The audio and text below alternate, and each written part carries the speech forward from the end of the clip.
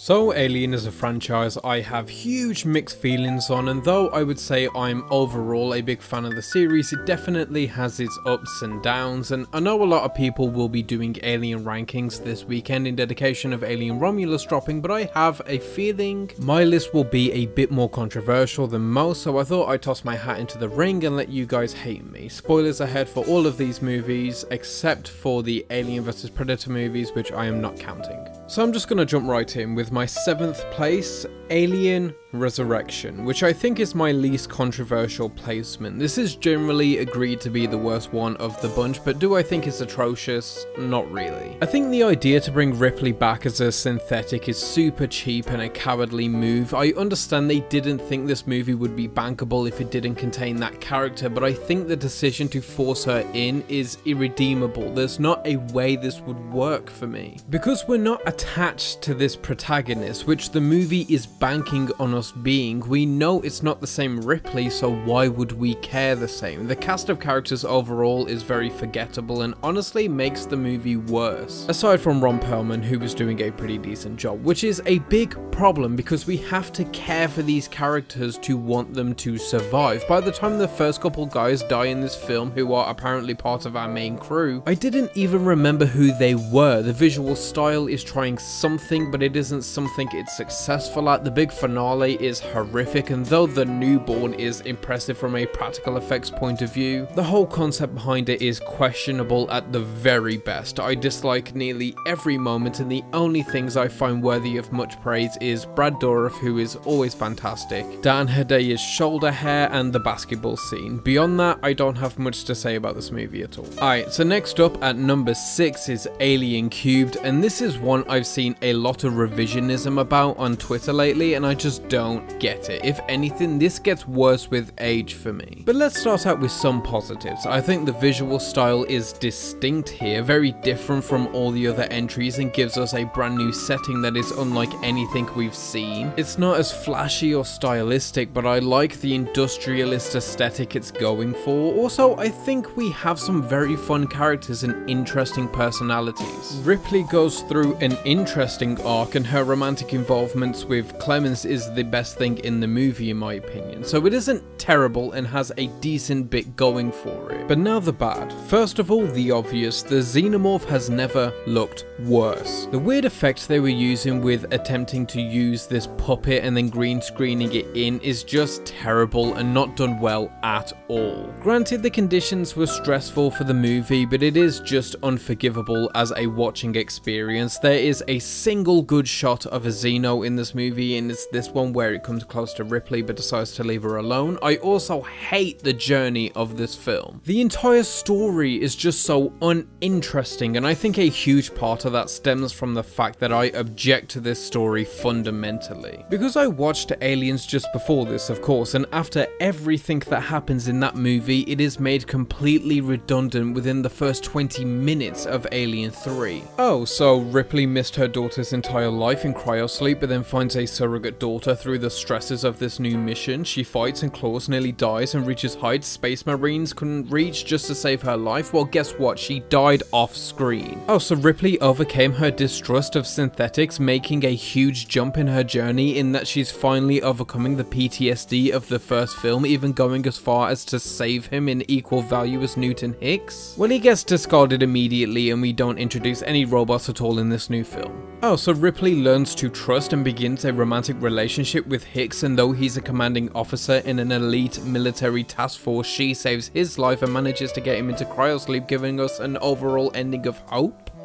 Well, he also gets killed off screen and that relationship goes nowhere. Oh, what? What? You mean Ripley fought an ungodly amount to erase all the xenomorphs, queens, eggs, and facehuggers off of LV-426? Well, a couple actually still got on board and didn't act until Ripley Newton Hicks entered cryo. All of this is so annoying. It retroactively makes a much better film worse, and that's a crime I cannot forgive. Not to mention, it kills off Ripley in one of the most unsatisfying and undeserved deaths in cinema history. It's meant to be a cathartic death in the vein of Nancy in Nightmare 3, her sacrifice bringing around the death of the main antagonistic force. But here, Ripley has done nothing but go through the worst time in anyone's life, seen countless deaths, for countless monsters, saved people, lost people, been interrogated and coerced, sacrificed and discarded, all to come out on top and in the end the best you have for us is that she kills a chestburster on the way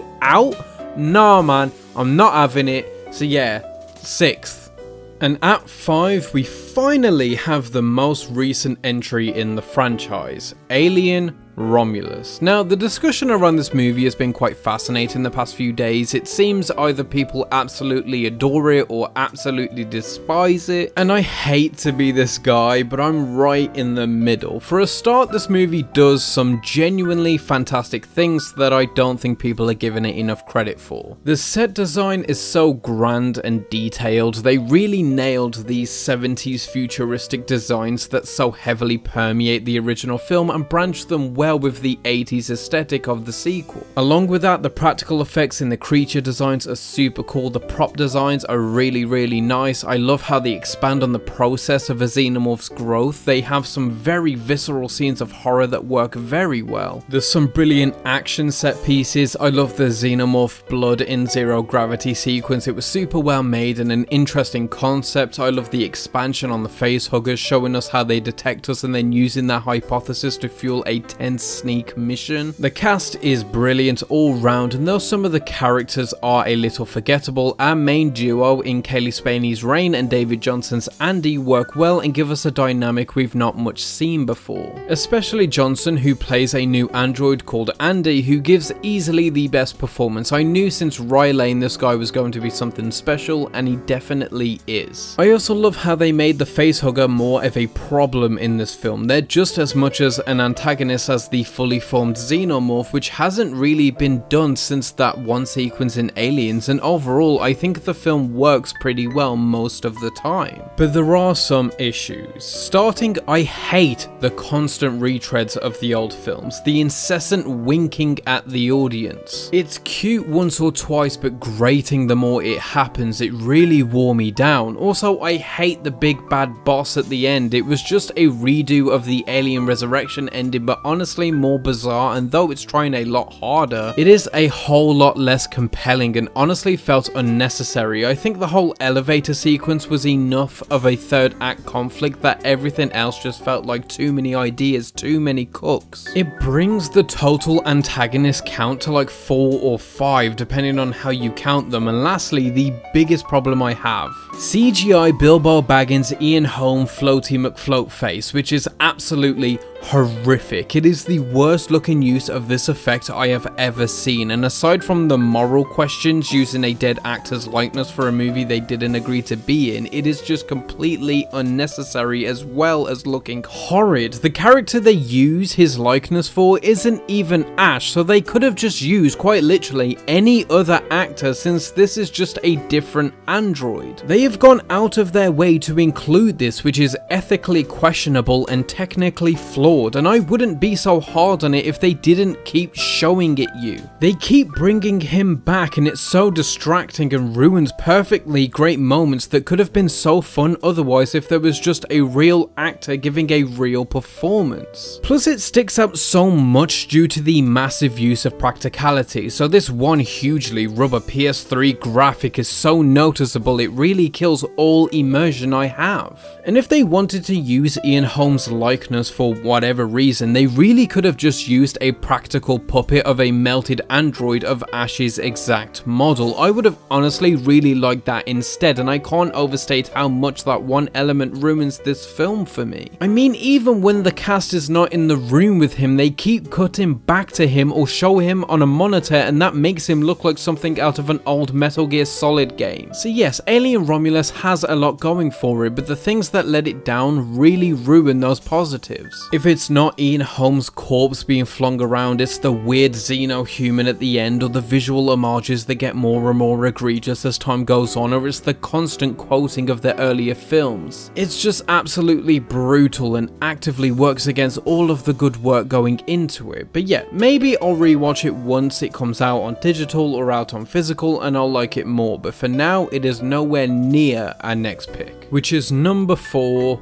Alien Covenant, and the jump from Romulus to this is massive to me. There are so many beautiful questions about our existence and what it means to have a soul, and I think the cosmic and existential horror that Ridley Scott was getting into here is completely underrated. Also, I would probably go as far to say this is one of the most beautiful films in the franchise. Scott is putting his everything into the visuals here, and I think at every step he is crafting an image so powerful and grand that it perfectly matches the thematic elements he's going for. The film opens up with this conversation between David and Weyland and it's about creators and the created, and after a moment David goes on a speech about meeting your creator and says the line to finish, you will die, I will not. Which is potent because in the end of Prometheus, we discover that Weyland didn't die and he's on this mission to meet the engineers to fix his mortality. So this is quite clearly a deep rooted insecurity in him. So after David says this, Weyland orders him to pour him some tea and of course David complies. It's Weyland putting David in his place, reminding him that he may live forever but he is a servant and nothing more, which is poignant when thinking of the rest of the film where David learns autonomy autonomy, and he tries to imbue that in Walter who is very comfortable in his role of a human aid. Fassbender is crushing it all the way in this film and I love how he plays David with this British accent that has so much underlying tones of being evil, untrustworthy, snarky and conniving whereas Walter has a generalized American accent which is a lot friendlier and trustworthy. Also Walter is part of the crew, he's offered a drink at a funeral he's chosen to attend and partakes, whereas David felt much more secluded and simply reduced to just the robot on board. And I could rant forever about all that Fassbender is doing in this film and all Scott is doing with that character, but honestly, that would be a video all its own. Aside from Fassbender, the rest of the cast are doing a great job. I love this entire cast, and the best thing that it does is kill James Franco immediately by setting the inside of his cryopod on fire. I think the backburster or whatever is absolutely raw and one of the best moments in any alien movie, not just the horror ones, and I love that this little moment of David asking how many colonists there are after hearing they're a colony mission, like he's frothing at the mouth thinking of all the subjects. I love the moment where David kills the citizens of the city who aren't actually engineers. I love his experiments and his philosophy on creating the perfect organism. I love the Ozymandias speech and all that means. I love the bit where he talks about At her grave. I love the horror, the flute scene, the set design, the action, the tension, the humour, the effects, the twist. I love almost everything in this movie. The only thing that really drags it down for me is it not getting a sequel so it feels incomplete. There's a huge cliffhanger and it goes nowhere. I need to know where David goes from here, what his journey is after these events. I really needed that final Ridley Scott movie in this trilogy because I think it would have been glorious. Now moving on to our top three. At number three, we have Aliens. I feel like I've spoken a lot about Aliens recently and I want to keep it brief because of that, but let's just remind ourselves why it's great. First of all, I watched the special edition of this film which has an extra 17 minutes which adds so much to the quality of this film, it's unreal they decided to cut any of it out. It has all the Amanda Ripley subplot which makes Ripley's attachment to Newt so much more powerful and emotional. It cuts out Newt's backstory with her parents, which not only explains how the xenomorphs got to the colonists in the first place, but it also shows us the colony fully functional. Everything in these 17 minutes is so important to making the other threads work as well as they should, but the stuff that's in both cuts is also pretty great. The practical effects are incredible and honestly an upgrade from Alien. Everything from the sets to the props to the creature designs, it's all ramped up and super impressive. The tonal switch from horror to action is a good breath of fresh fresh air and keeps the series interesting and evolving, especially since Cameron's action filmmaking is also some of the best of all time, so it's no wonder it works so well. The introduction of the Queen is absolutely killer, the Ripley and Hicks romance is very fun and charming whilst never being distracting or at the forefront. Paxton is absolutely hilarious and fun, Bishop is a great android character to mirror Ash in the same way that Walter mirrors David, the big third act is beautiful and this is just one of the best films of all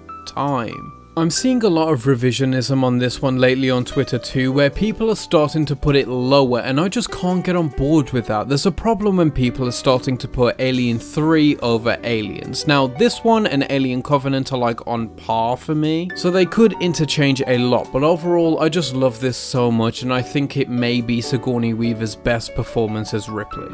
Okay, moving on to our number 2, our penultimate spot, we have...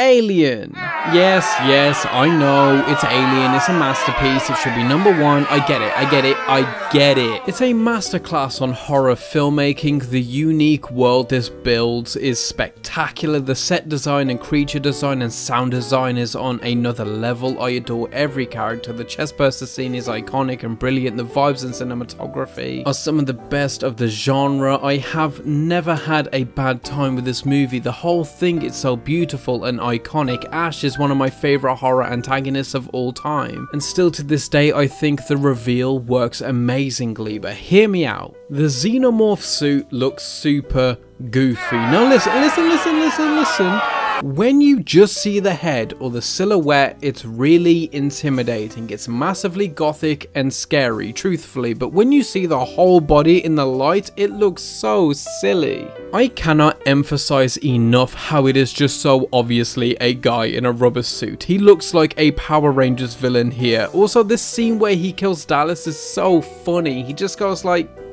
Mah. So yes, this movie is a masterpiece, but those few shots where you see the whole xenomorph really ruin it for me. And it is the only thing that stops this from being perfect to me. I don't want to talk about it much more because you know, it's Alien. What is there more to say? Everybody's already said everything. It's my number two. I love it, okay? So don't get angry. Which brings us finally to our number one, which is Prometheus. Now, anyone who knows me knows I have a complicated history with this movie. I started out hating it to absolutely adoring it. It became one of my favorite movies, period. I think this film gets a lot of slack because it wasn't what people wanted, and that's where I had hatred for it too, but once I started meeting the film on its own terms and seeing it for what it wants to be and not what I wanted it to be, my eyes were open. Now again, I'm not actually going to talk much about this one because I do plan on making a video about it. But firstly, just to get to a couple things, like Alien Covenant, Fassbender as David is one of the most interesting characters in sci-fi history. This film brings a complexity to androids we'd not seen before in the franchise. I also think the philosophy questions this film brings before us is also nothing like we had seen before and is handled with so much nuance and beauty. The horror elements work so very well. I think this might be the second best use of horror in this franchise other than of course Alien even though this one is my favourite comparatively. And it is just so nihilistic but I think it's also by far the most complex and layered and thought-provoking films in the entire Alien series. It's also the best looking film in the franchise in my opinion. It's a masterpiece in every sense of the word to me. Look out for the video what I do eventually do on this film because I think it is seriously massively underrated and I'll love it till I die. And that's it, that's the entire Alien franchise ranked, so feel free to send me your rankings and tell me why I'm stupid, let me know what you think of Alien Romulus and whether it's one from the varying in quality Alien franchise or not. As always, keep watching movies.